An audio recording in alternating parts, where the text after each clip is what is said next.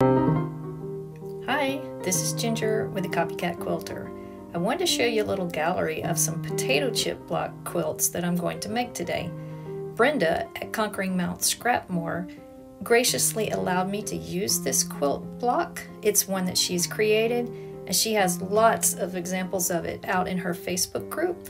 I'll send a link in the comments and I hope you go over and visit her channel because she gives away blocks like crazy and you will absolutely love it. So these are two that I made and you can see they have some little snowballed corners things going. I'm going to make a short on how to make those because the video of just how to make the quilt took me a long time. This was made by Jeannie who's in Brenda's Facebook group and she let me share the picture. This one has beautiful bright colors and those red rings. She also made this one that's in the more traditional colors and using that light ring the way I will today really gives it a completely different look, kind of a shadow look. Now Minnie is in Brenda's Facebook group as well, and she did alternating light and dark rings to make hers give a little different picture. We're called a potato chip quilt. And these potato chip blocks are very popular. I've seen them a lot, especially with scrap quilters, which I am one of. So like other quilts, the first thing I would do was to try to find, try to isolate a block. I don't know why, but I usually start in the top left corner, left to right, top to bottom. If I look at this, I can see there is a square here.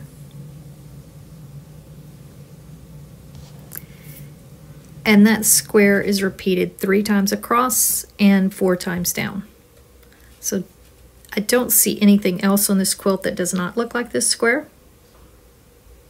So I think this is a one block quilt. When I look at this a little closer, I can see there is a square in the middle. This made up of two rectangles sewn side by side. And for now, I'm going to ignore those snowball corners because that's like the little flair that I'll show later. It's an option. Around that center square, have another round of rectangles.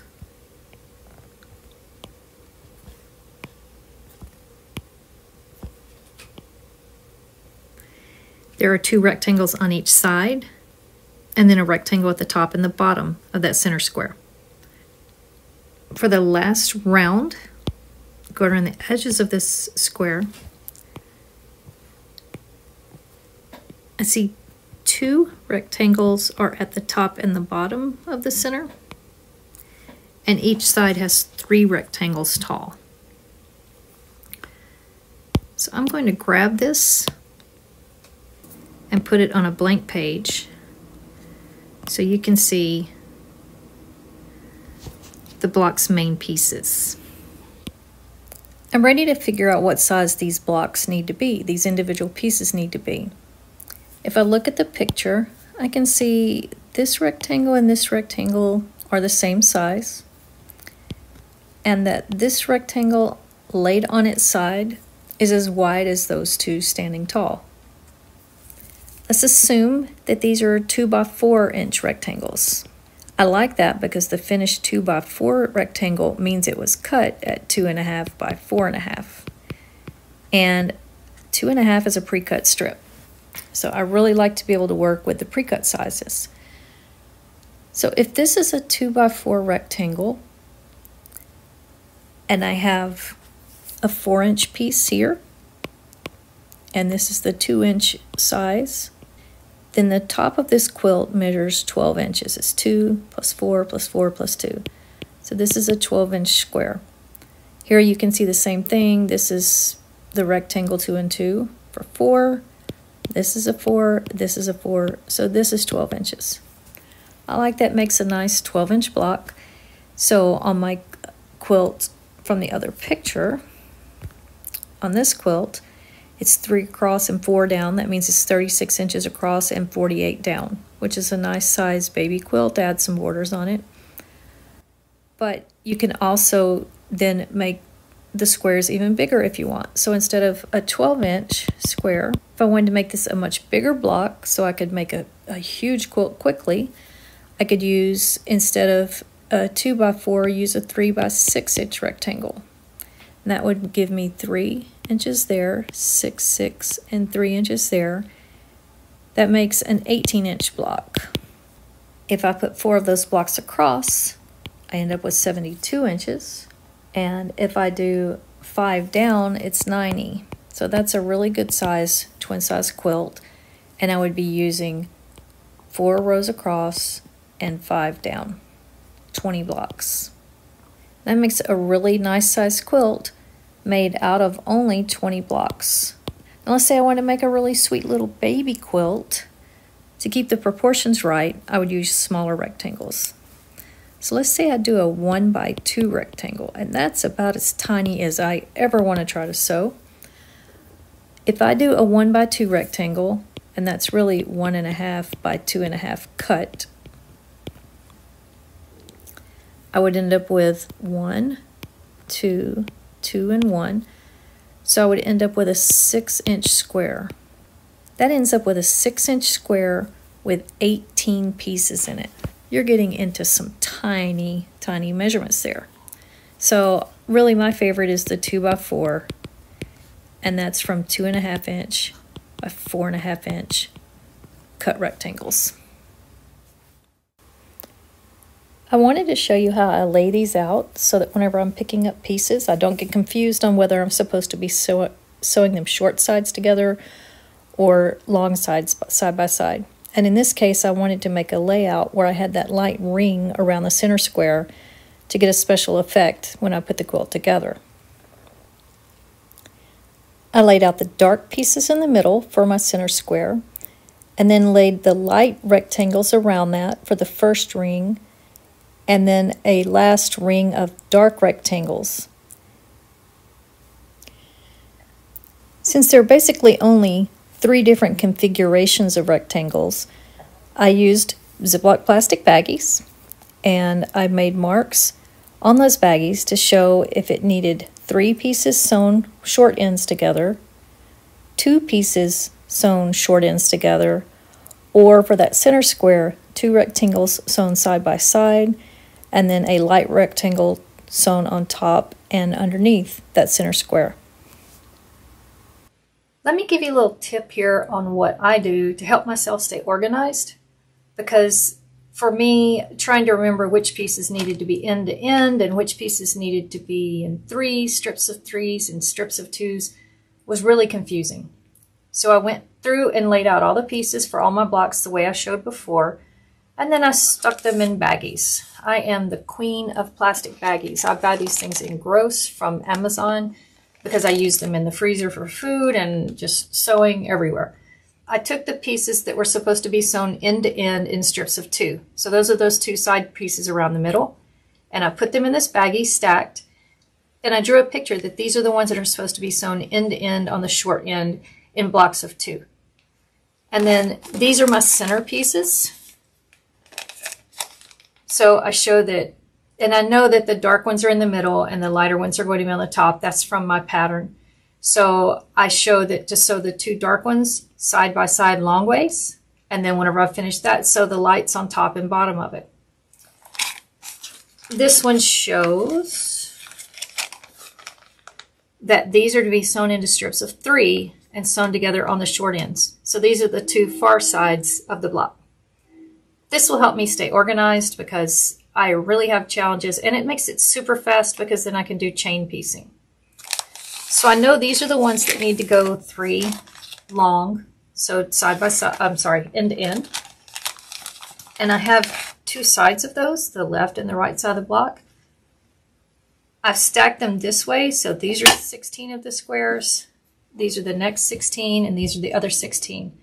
And now I can just sit, pick off rectangles, sew them together, and chain piece for days. So I'll show you I'll show you a little bit of the chain piecing, but I think everyone watching this probably knows how to sew. I'm using quarter inch seams as always.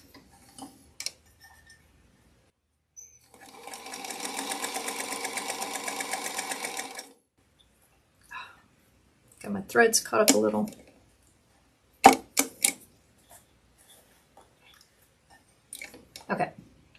And then I sew the next. having trouble sewing this morning.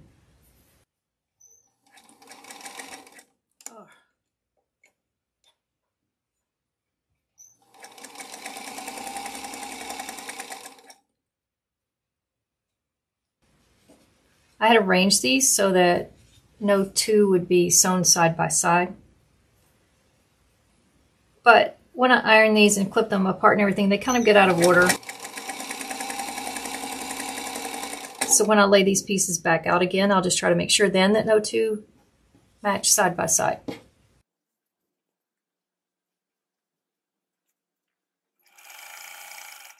Let me finish these up and I'll come back. So here I am on the last set of two. I've got all 16 blocks, the first two sewn together. I don't trim these apart yet. I just go back and find the first one.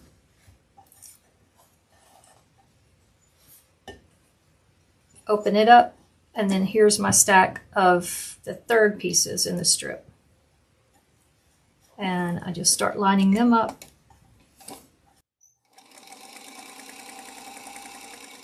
And do the same thing.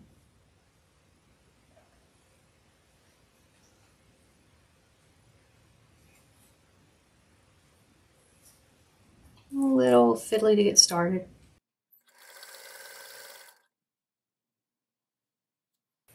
I don't have to worry about pressing these in between okay, so that one didn't cut good. I don't have to worry about pressing these in between because I'm not crossing any seams yet. And usually when I'm crossing a seam, I will press before, but not even always then. You know, if you sew over that seam and you kind of flip it to one side yourself, when you go to the ironing board, it's going to flip that way. but it's not a bad idea. I keep my ironing board across the room where I have to get up and walk about 10 steps maybe to get to it. I don't do that little nest thing around my sewing machine because I figure it does not hurt to get up and walk across the room now and then when you're sewing. You've got to get some steps in, but I don't have on my Apple Watch today, so the steps don't count anyway. I don't think I'm the only one that feels like if you exercise without your Fitbit or your Apple Watch, the exercise doesn't count. Okay, let me finish up the rest of this stack. I'll go find another piece to replace that one, and I'll come back. And this is the last one of the threes that I needed to sew.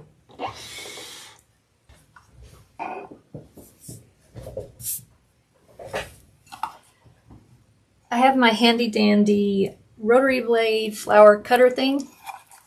This is a really nice tool. You can put your used rotary blades in there. It's got a little screw. You can put your used rotary blade in there and sit it here, and then you can use it to clip threads. It also will let you store it inside there so you can carry it to retreats without having um, your rotary blades exposed.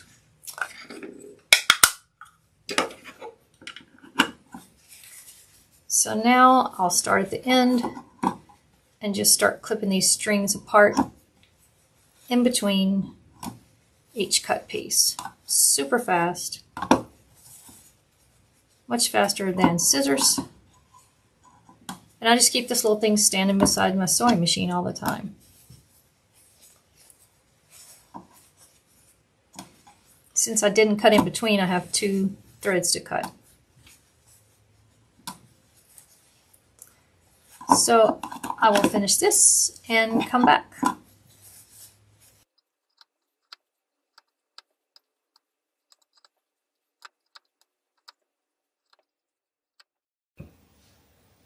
I want to give you a little hint about ironing these. Excuse my reach. I lay them on top of each other.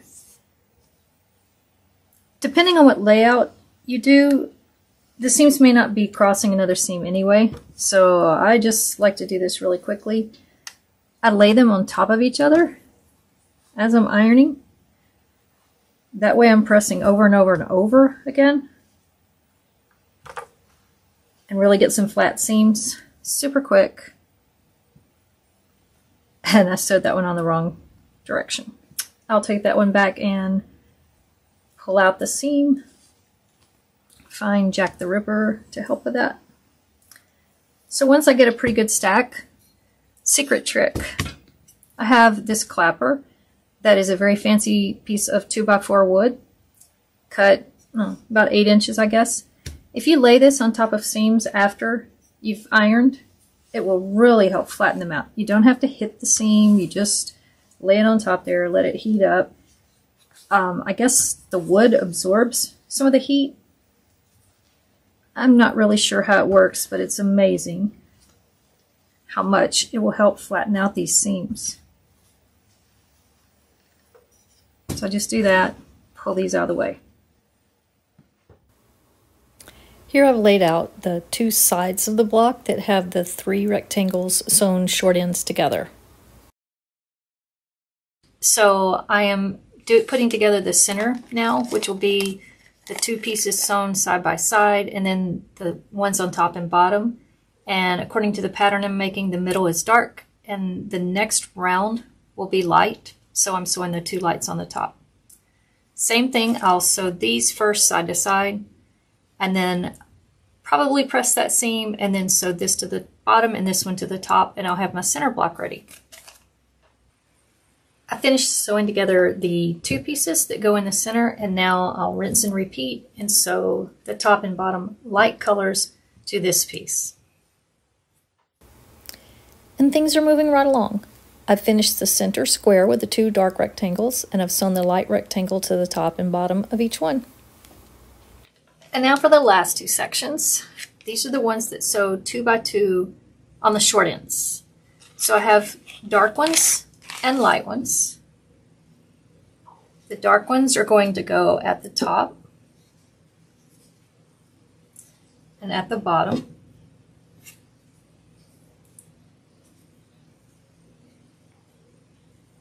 And the light ones, if I can pull them apart, are going to go on the sides like this to make the light ring. So I'll get busy sewing end to end, end to end of these and come back. I finished sewing all the individual components. So I have my center section that has the two darks and the two lights. I've made my two light side pieces. I've made my two dark top pieces and then I have the two sides. So now be able to balance out the sewing, I'll sew these two first, then these two, and then the sides. That way I'm not doing any inset seams. So these two pieces will go together first on each side of the center. I have decided to challenge myself and I am going to put this quilt on point. I've only tried on point one other time and I got so frustrated at how many times I had to rip out seams. Um, this time I am going to be super careful that I'm getting these triangles the right way and pin everything. You won't see me use pins a lot. I will pin everything before I take it over there to my sewing machine so that I sew them on the correct way and do not have to rip things out. For this quilt, if you remember when I was sewing them together, one side has three and one side has two. If I lay these out the right way, I'm never trying to match any of those seams. So that makes it really nice, no points to match. In order to do that, this one has three. I want to set this one to where this seam between the two is cutting that middle one in half. You can see these center pieces are going this way and these are going that way. That's what makes me not have to match any seams there. Really cuts down on the bulk because I'm not sewing seams to seams. So that one's going up. This one will go sideways. So my center pieces are going sideways. And here I have the two against the three. And that seam and these seams don't have to match anything.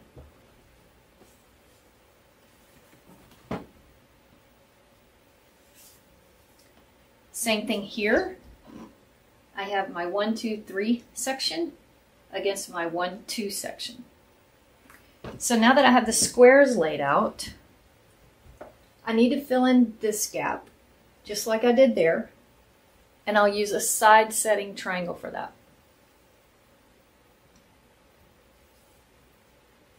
Now, if I sew the wrong side of this triangle to the square,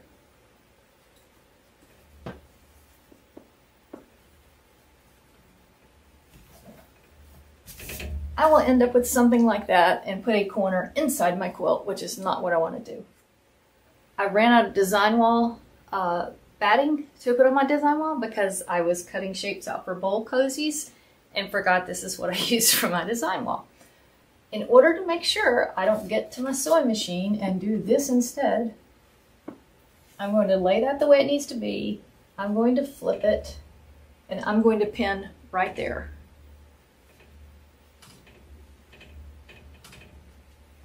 Now, when I get to my sewing machine, I know that's the right way to do that seam.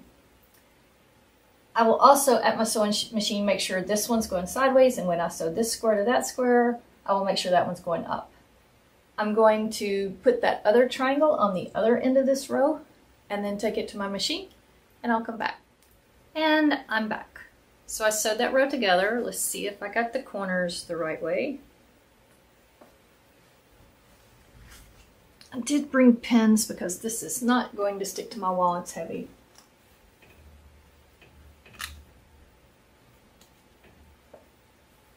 And actually, my design wall is not a wall. If you see it moves, I have it hanging in front of closet doors, which um, is that rumbling around in the background you hear. And my lovely man mounted a projector screen above my closet doors for me so I can pull it down. I have Velcro. I stick that batting to the Velcro and I have this to use.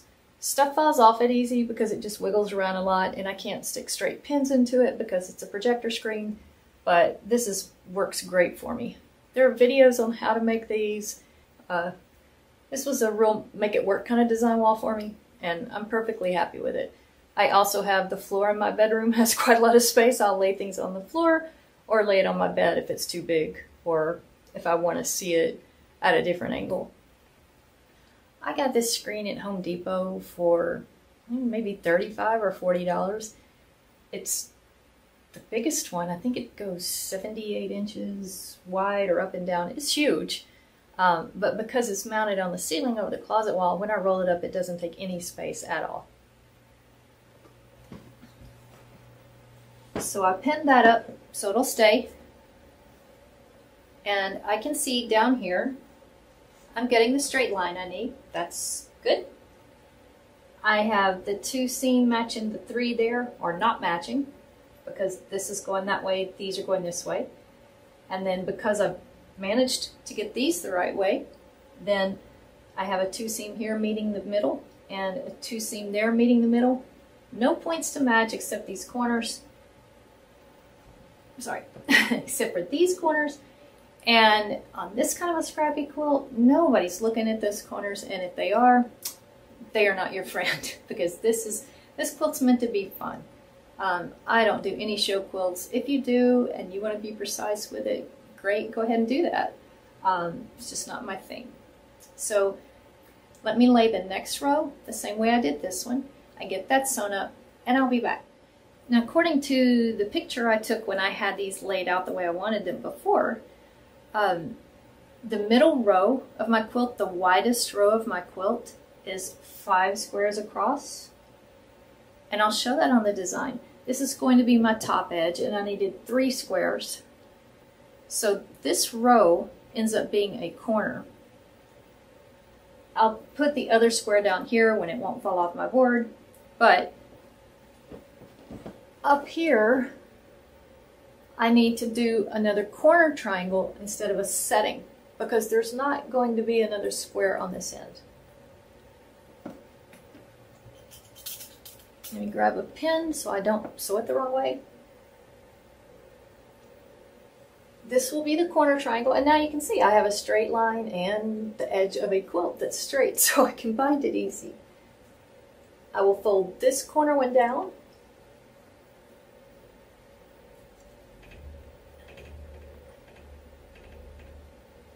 and of course pin it so I don't get it out of order. I'll put the fifth block down there and put a setting corner, uh, sorry, a setting triangle on it because it is not a corner. And I'll put another triangle on the end of this row and I'll sew this row next. I'm back at my sewing machine and I wanted to just show you something close up that I was talking about. So when I'm sewing these squares together on a row, I don't want to do this. I have two rectangles where I will have all of these seams to match. If I rotate that square, so where this center is going across and this one is going up, you'll see I don't have any seams to match there. I've got the three side against the two, and here are my seams, so they don't have to match. It makes your job a lot easier. You don't have to do it that way. It's a square, so regardless of which way I turn it, I'm still getting the ring in the middle even to all the sides. So I am down to the last row, last few blocks to sew together. I think this is the center seam of the quilt. And we will be done. And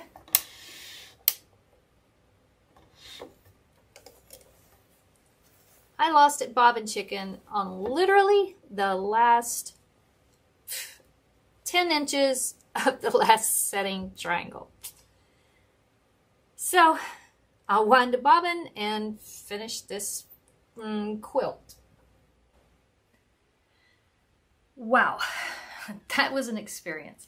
Piecing all of those blocks probably took me about six or seven hours. Doing that layout took me at least four with all of the goofs and messes that I made. So this is the finished quilt, and despite all the crazy making, I think it was worth the effort to make it on point. Um, this one is not quilted, so it's a finished top, but maybe making quilts on point is kind of like childbirth. Um, when you first have that baby, you swear you'll never ever do that again, and then you tend to forget. So maybe nine months, a year from now, I'll decide I can tackle another one of these quilts. We'll just have to see what happens. Um, I think I am through with an on-point quilt for now. Um, the next one I was going to show was actually my first one I ever did, and it is a king or queen size, but I'm just not going to touch that right now. I have another quilt I'd like to show that was my grandmother's design that I remember her cutting out of newspaper and uh, cutting all the pieces with scissors, and she did hand piecing and hand quilting and could finish a queen size quilt in about two, two and a half weeks. So I think I'll pull that quilt out next. And then maybe after that, I'll go for that other quilt that is a really nice pattern. And maybe I'll make a little tiny one that I can lay on point, lay right by my sewing machine, and maybe possibly pick up the pieces and put them order the right way. So please like, subscribe, hit the notify bell if you want to, and leave a comment below. Um, maybe you have some good hints on how to do uh, on-point quilts for me and I can learn something too. So for now, uh, it's goodbye and I'll see you next time. Okay, I had challenged myself to not have to use the seam ripper on laying this out because I was being so careful and even being that careful, of course, I just had to rip off a triangle. I'm back again on the same row I have to rip this one again because I sewed that triangle on the one, wrong way. I think I may move this design board to the floor because it's getting too big to lay out and now I've made two mistakes on the same row. So and we're back for the same row that I've had to rip each end on and really guess what? I even managed to rip my triangle this time when I was ripping out the seam. So I'll cut another triangle and see if I can get this one row put together so I can finish this quilt.